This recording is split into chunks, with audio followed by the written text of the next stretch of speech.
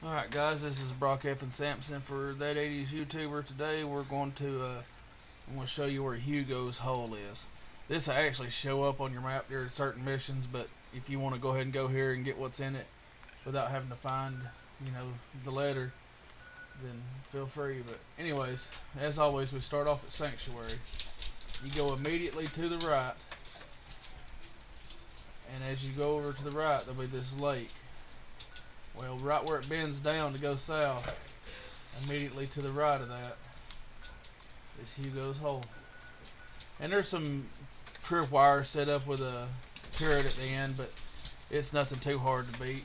I mean, I'm already in here, and you get uh, struggle. So, all right, guys. Well, this is uh, Brock F Sampson. Uh, make sure to like and subscribe to the channel, and uh, we'll see you on the next one.